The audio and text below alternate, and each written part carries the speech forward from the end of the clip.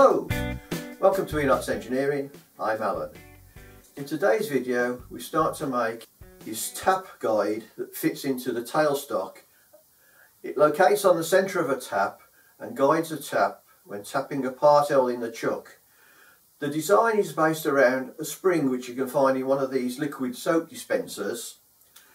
The spring has a 6mm bore, 8mm OD and is about 25mm long. This is the finished item. It fits into a tailstock holder and this end is spring loaded and locates at the rear of the tap. So let's go into the workshop see how we make it. This is a bar with a Morse taper on the end. I'm holding it in a number 3 to 2 Morse taper collet. The bar has a number 2 Morse taper. It's just parallel bar. I've drilled a hole in the end.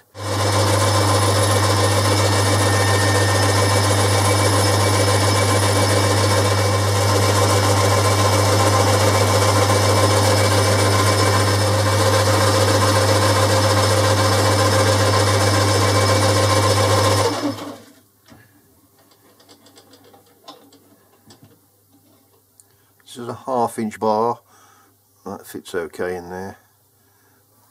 Using the 60 degree cutout in a thread gauge, so I know the angle of the boring bar is 30 degree. That's slightly out on the centre because the cutting edge of the tool is not parallel with the boring bar, it's always set at a slight angle.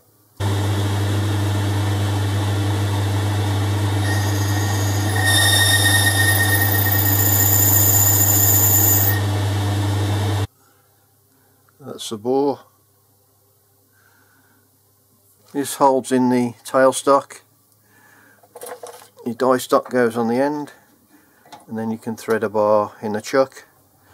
So what I want to make today is a spring loaded plunger that will fit so when you're tapping a hole in the lathe the plunger will touch the back of this and guide the centre. I'm going to make a double-ended plunger so one end will have a centre in and the other end will have a cone so depending on what you've got on the end of your tap because some taps have a little centre drill hole this tap's got the opposite, it's got a cone on there so if I do a centre drill in one end and a cone on the other I can turn it around to suit whatever the tap's got on it.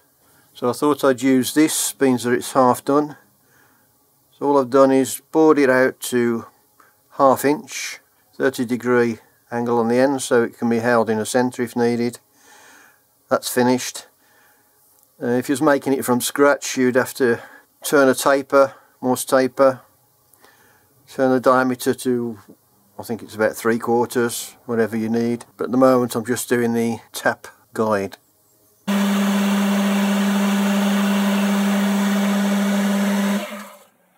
Okay, I've turned the OD down. Uh, I've just fitted my knurling tool I want to put a knurl just on the end.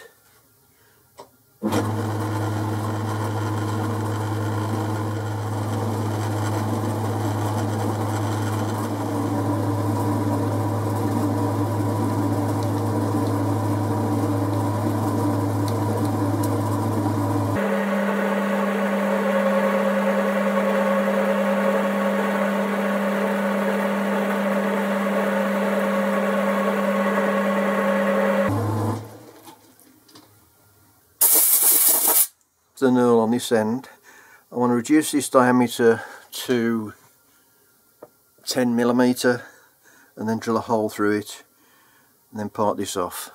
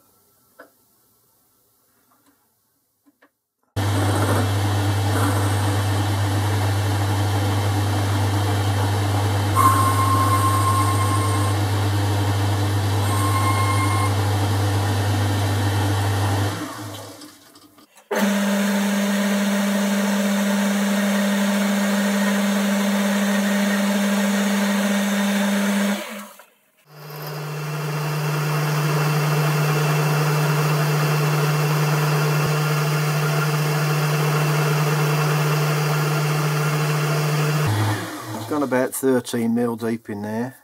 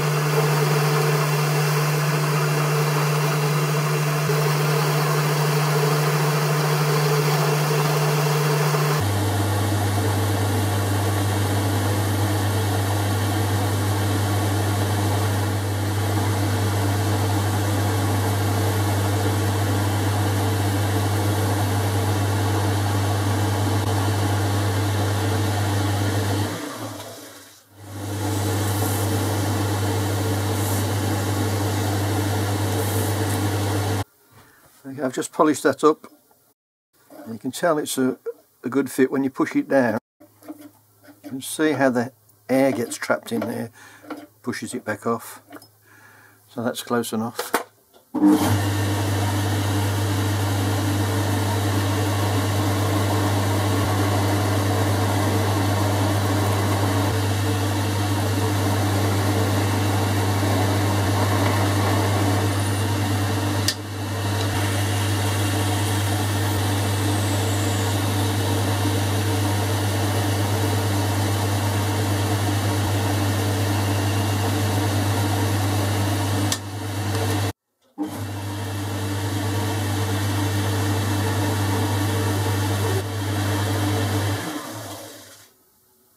Turned it round in the three jaw chuck, clocked it up to half a tenth.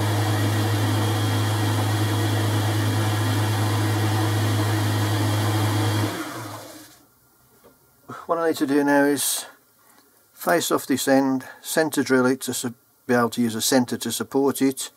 Then I can turn this diameter down, knurl it and part it off.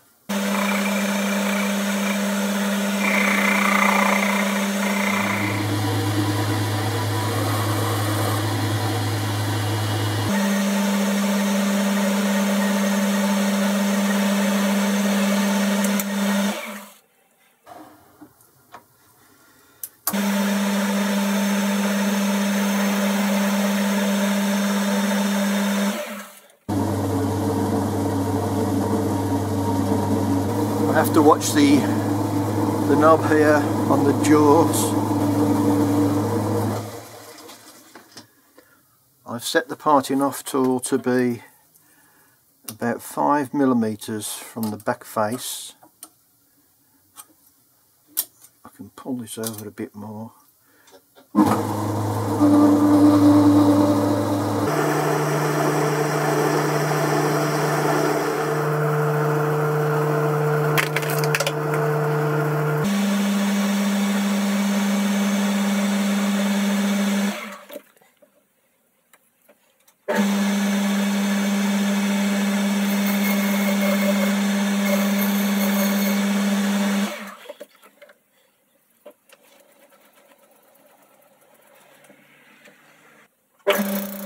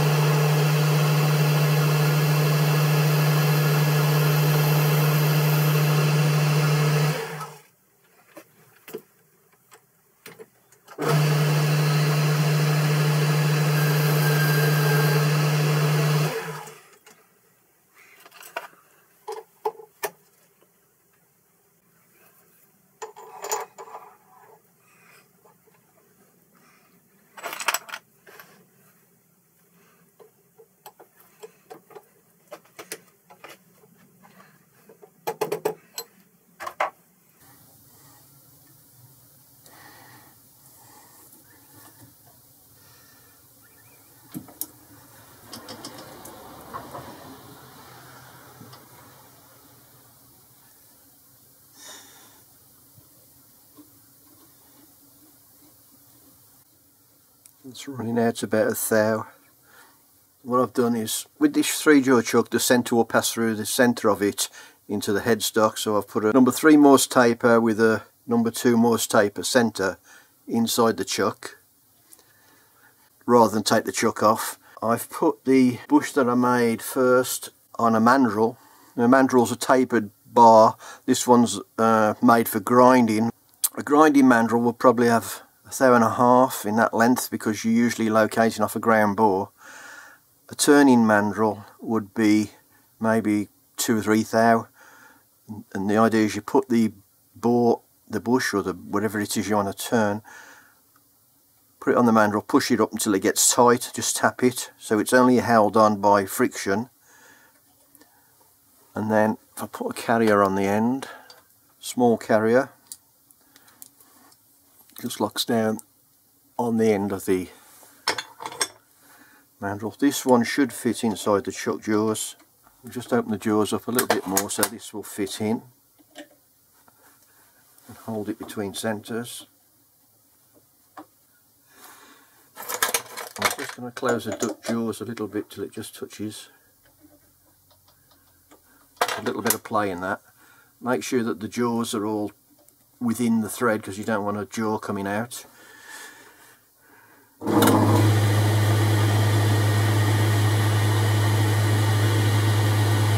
the run out on that's a thou.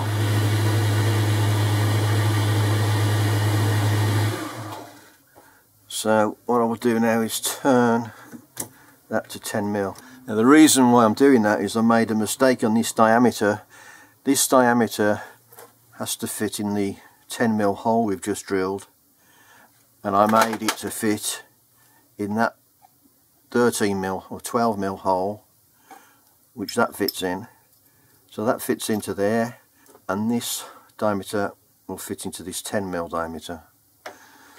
So now I'm hoping I can turn that.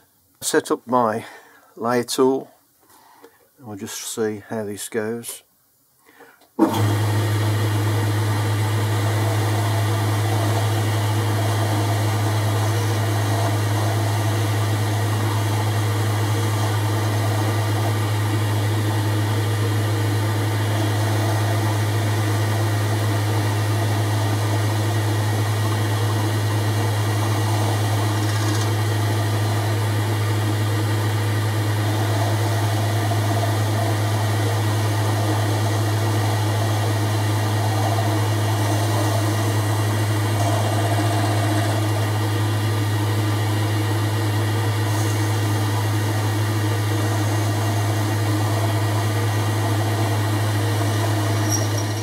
with this, because it's between centres, I can take this out,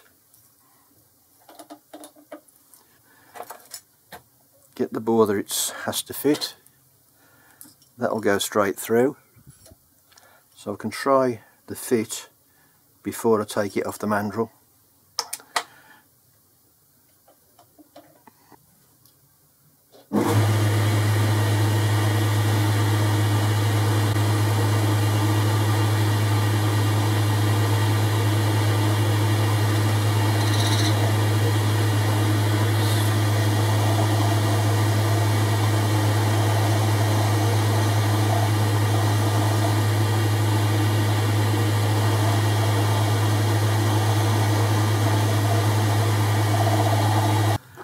Give it a slight polish.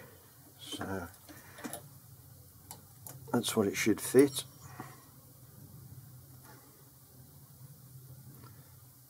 And then to get that off the mandrel you just hold it underneath tap the mandrel through. And we know that the outside and the face is running true to the bore. Oh well that's it for today. We've made three of the four parts to complete the job. We'll finish this off in part two. Thanks for watching hope you've enjoyed it and we'll see you next time on Enots Engineering.